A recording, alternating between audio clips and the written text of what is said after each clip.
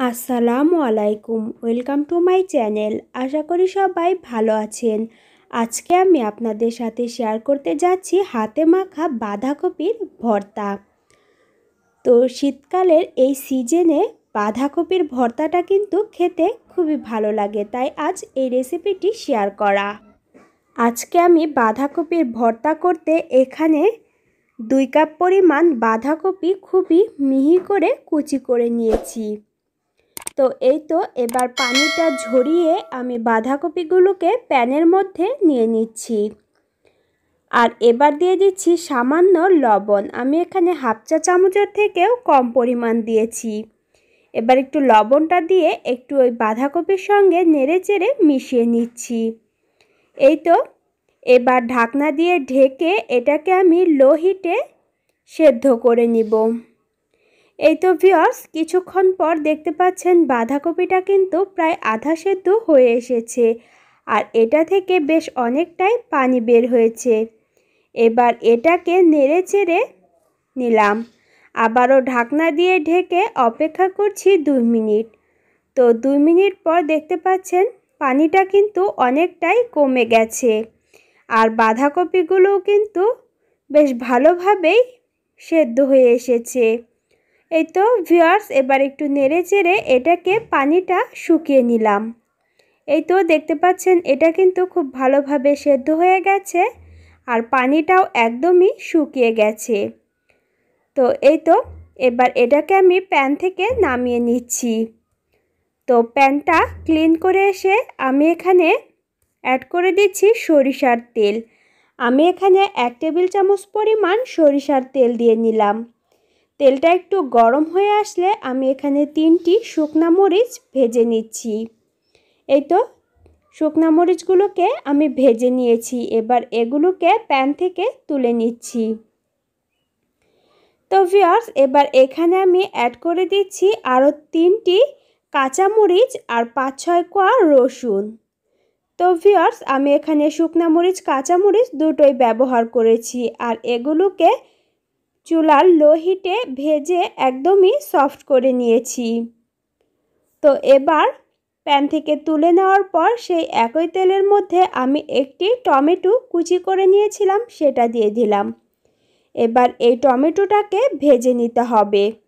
তো ভিওর্স আমি এই পুরো কাজটাই কিন্তু চুলার একদমই লো হিটে করেছি। আর টমেটোগুলো ভাজার সময় আমি সামান্য লবণ দিয়ে দিলাম। আর এমনভাবে এগুলোকে ভেজে নিতে হবে যেন পুড়ে না যায়। এই তো, এবার এটাকে আমি নেড়ে চেড়ে ঠিক এরকমভাবে ভেজে নিয়েছি।